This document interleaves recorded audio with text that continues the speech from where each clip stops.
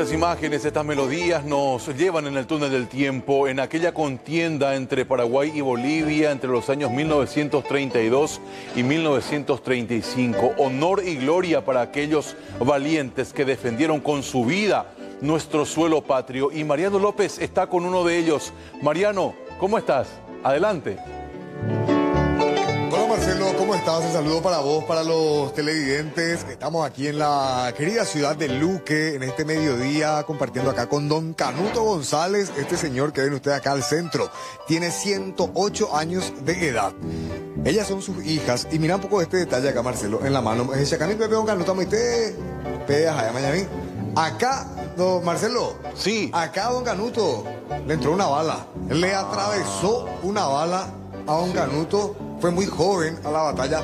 Pa ella para don Canuto, para ella para México. Ay, me pagué, coña. 89 años llegó a la más de la guerra. Dos peñas, coña. Y me abrió. Una vez don Canuto la de historia, después de años de escuela, de jodo, la guerra, pero para ella copiar con él. Que. Yo me voy 15, tengo 15. Ay, pues mira la camisa Uruguay Bucú. Me pone pantaloncito madre.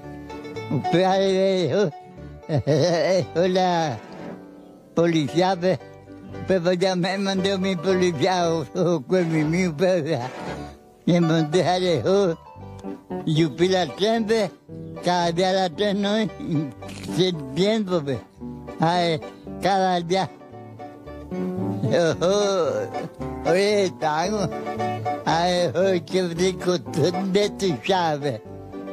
Continent te samen hoort je. Upeko unde vaya. Ujupi patenti mala tembela mia hoa la yu. Kopa ube. Uga punje jive di continent te samen. Hij. Papi hale ve. Papi hale ve.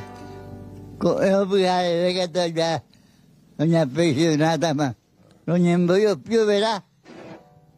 Veniva qui per me, ecco là, una camisata mia.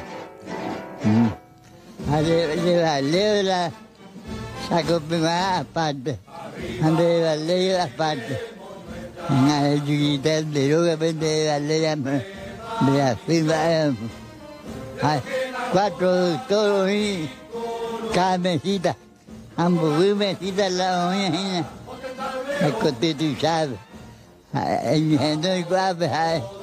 हम भी तो है मेहनत जीव जो आया है सकते रही हो ना या फिर सुना है ना ए बोला, खुदा उसकोला ऊपर पे राख पे।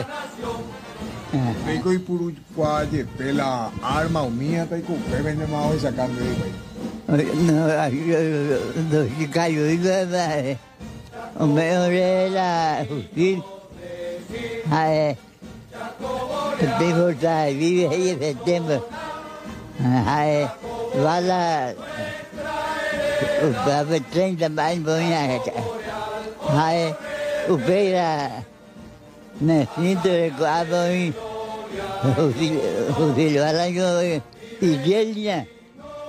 ये ये जो पीला दिल अब है। हाँ, वाला वाला दिल है। माटी जा जा हो महीना है। ये जो पूजे वो तो वो जो पाले जो खाले तो हाइया को वाला ही ना। जाए हो गया तो मिला। देखो, पता है ना ला।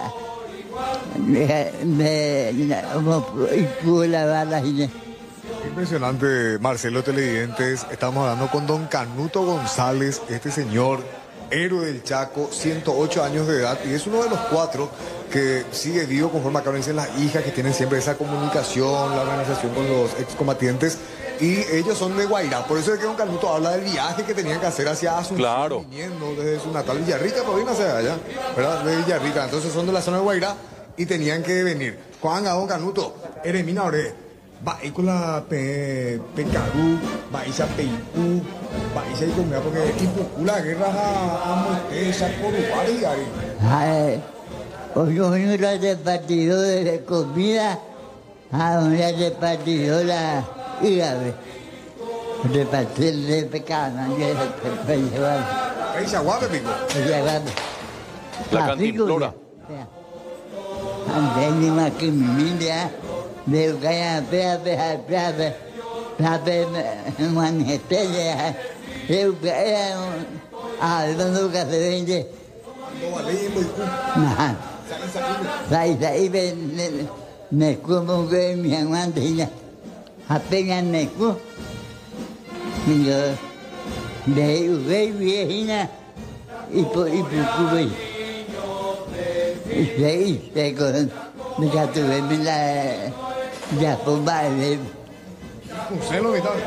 I, po, i pokupljena nekula, um je uvelje. Majbe garu, majbe u. A comandar? Comandar? Tambora pegava, jogava comandar Tinha uma arreta velha comandava. Lá, isso já era, papi,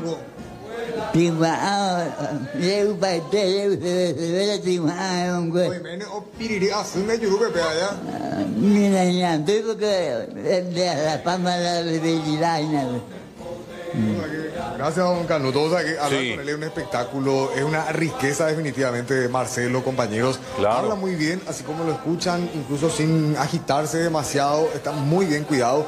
Acá están sus hijas, a quienes le agradecemos muchísimo que nos reciban, para poder hablar un poco de estas memorias, Marcelo, que tiene don Canuto en su cabeza y en su piel, Sí. y en las cicatrices que quedaron después de haber participado a los 15 años. Él fue ya en 1932 al comienzo de la guerra, estuvo hasta la batalla final, la batalla de Boquerón, y después pudo retornar nuevamente junto a su familia. Don Canuto recordando de esta forma en primera persona ese relato con la lucidez que justamente aquí decíamos con Roberto Pérez. Tiene un hombre que fue a batallar en el árido suelo chaqueño, volvió con vida y hoy puede contar eso que él tuvo allí como experiencia propia para defender nuestro suelo. Quiero hacerle una transfusión sanguínea a don Canuto para que le dé un chiquitito de su sangre y su patriotismo a las autoridades actuales, a ver si es que pueden hacer algo mejor por nuestro país. Mariano, muchas gracias por este contacto, por esta historia. Fuerte abrazo a don Canuto, a su familia en este feriado adelantado por la guerra del, del Chaco en su eh, culminación. Muchísimas gracias, Mariano, muy amable.